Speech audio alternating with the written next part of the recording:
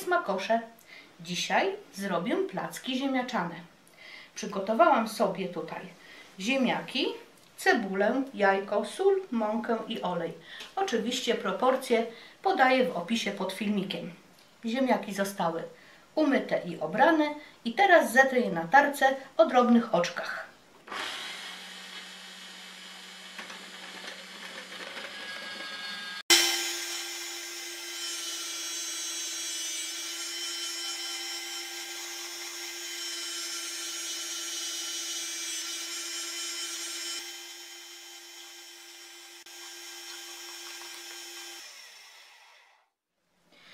Ziemniaki oraz cebulę potarłam. Do miski wstawiłam sitko, żeby wyleciał nadmiar soku. Zostawię tak przez chwilę te potarte ziemniaki, żeby nadmiar tego soku spłynął do miski.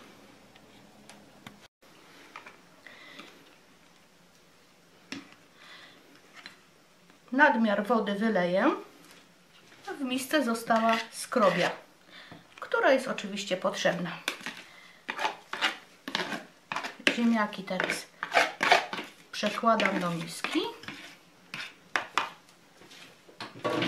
Zapomniałam powiedzieć, ale dodaję teraz szybko łyżkę kwaśnej śmietany, a to po to, żeby ziemniaki nie ściemniały. Jak dodamy śmietanę, to placki nawet po usmażeniu będą ładne, rumiane i złociste, nie zrobią się szare. Teraz do ziemniaków dodam jajko.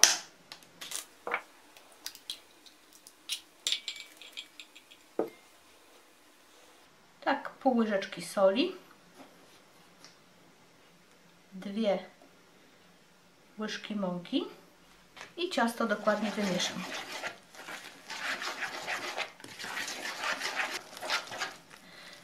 Ciasto jest gotowe. Możemy smażyć placki. Włączam patelnię i wlewam na nią olej. Olej jest nagrzany, więc można smażyć placki. Będę robiła takie nieduże placuszki.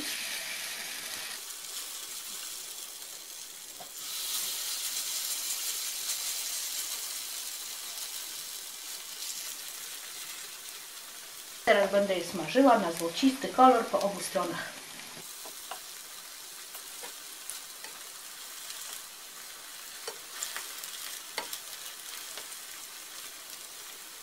Placki usmażyły się z obydwu stron, teraz możemy je zdejmować. Potrzymam je nad patelnią i przekładam na półmisek, na którym położyłam ręcznik papierowy, żeby wsiągł w niego cały nadmiar tłuszczu.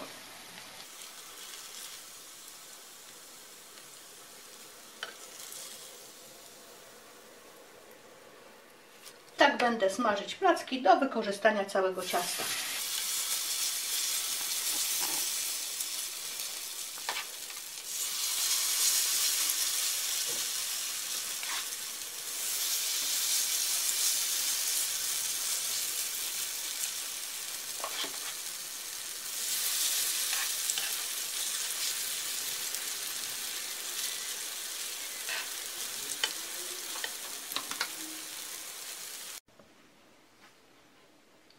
Placki ziemniaczane można podawać na kilka sposobów. Ale my dzisiaj podamy je z farszem grzybowym. Farsz ze świeżych leśnych grzybów z gęstą kwaśną śmietaną i koperkiem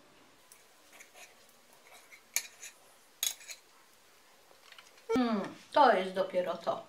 Pycha. Wspaniałe.